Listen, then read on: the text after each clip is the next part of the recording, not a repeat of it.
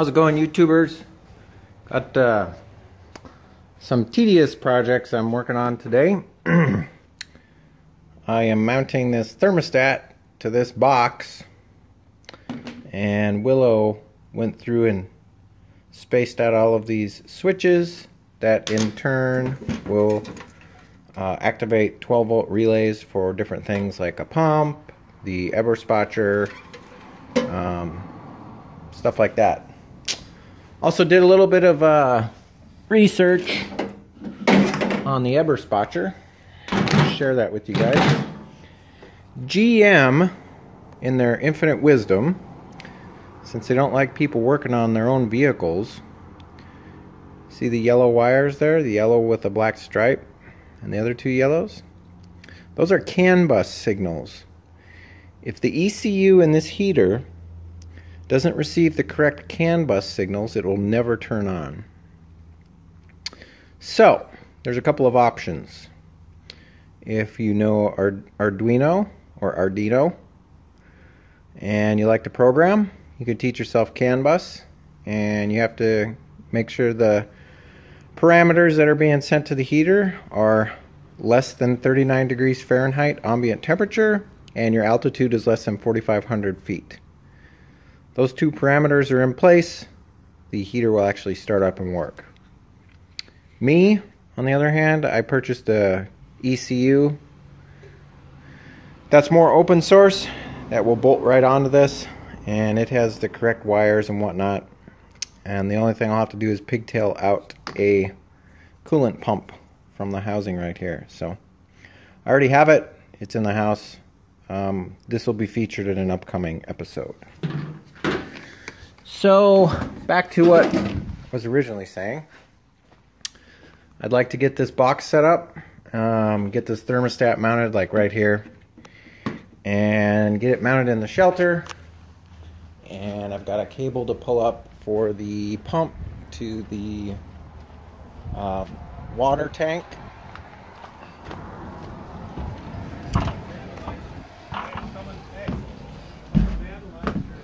Yeah. Uh, that was my neighbor. He was saying somebody vandalized uh, our yard here. All these uh, street markings are actually a good thing. Um, I want to give a little shout out. Um, if you don't get it through me, get it through somebody else, but get yourself a Legal Shield membership.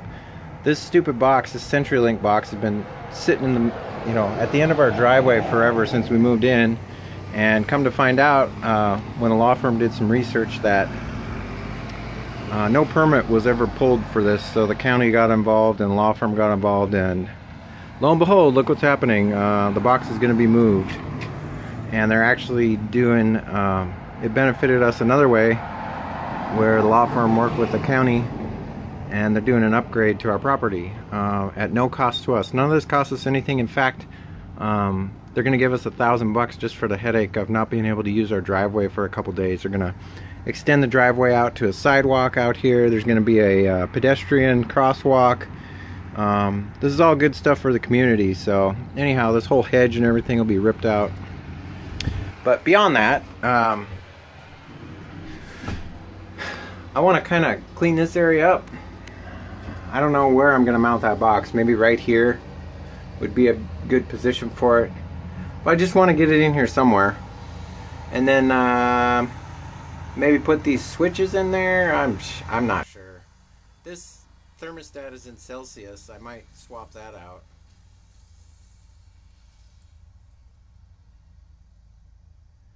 But um yeah, so I'm going to start working on that. We'll see how far we get. okay, guys. Got the box mounted. I took the uh, fan directional control off the wall I'm gonna seal all those up. And then I mounted the um, speed control right here. Should be pretty nice. Took my little voltmeter off. Was mounted up here on the wall. Took that off. I'm gonna mount that on the front of the box here. That'll look pretty sweet. Um, I'm running out of relays, so I'll have to order more of those, but my goal basically is to get uh, the water pump wired in today and the um, thermostat wired to the fans. So we'll see how that goes. Got to punch a hole right now. I think the best spot's going to be right here. Got punch about a one inch hole. Run some PVC down to the bed to protect the wires. Then we're ready to start uh, doing some terminations. Alright guys, I got the uh, penetration made.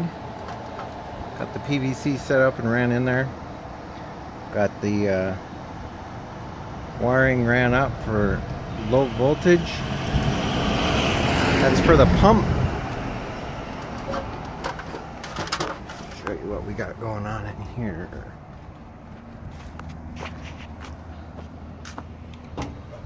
I'm just down to terminations now. I got everything all buttoned up. Got the AC on here. It's pretty warm out, so that's where I'm at.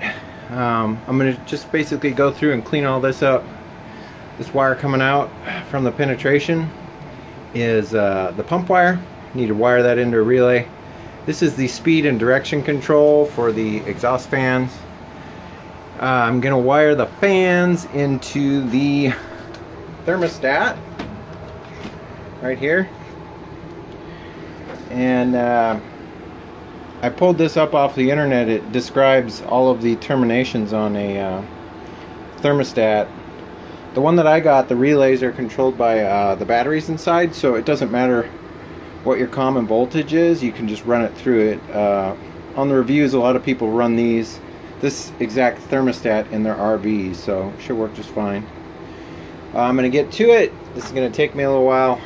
As you can see, I've got tons of terminations and shrink wrap and all kinds of stuff to uh, deal with. Looks like we got a baseball game or something going on tonight, soccer game. The school across the street, anyhow. Whew, this turned out really good. I still got I still got a cleanup to do, but um, I'm really happy with how this turned out.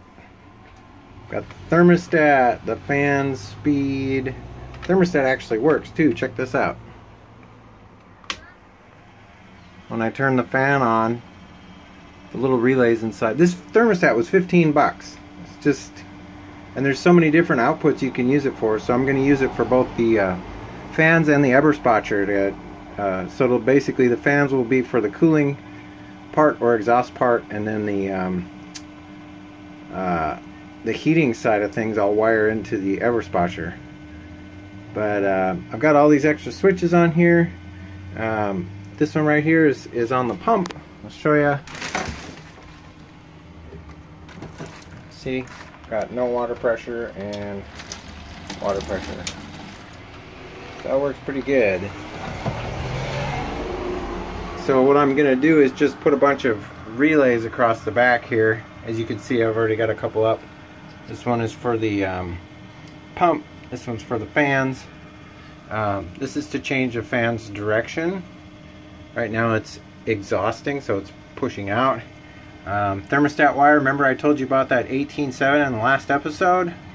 That's what this is for right here. So now I can wire up a bunch of different things to these um, relays that are inside this little $15 thermostat.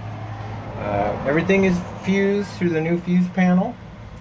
I've got to get uh, more labels made for the uh, panel cover. And then these are just some wire labels and the thermostat instructions. And I do have some extra relays to go in there if I want to set it up for something else. Uh, aside from that, I think that's going to be it. And yes, this does close. I've tested it. It'll look pretty slick closed like that. So I think I'm going to cut the episode off right here, guys. All I've got left to do is a little bit of cleanup. Um, don't know when the next episode will be, but I think it's going to be geared towards the ever Eberspacher. I'm hoping I'll have an episode coming up here soon, and I'll talk quite a bit about that. So, all right, guys, I'll catch you next time. See you later. Bye-bye.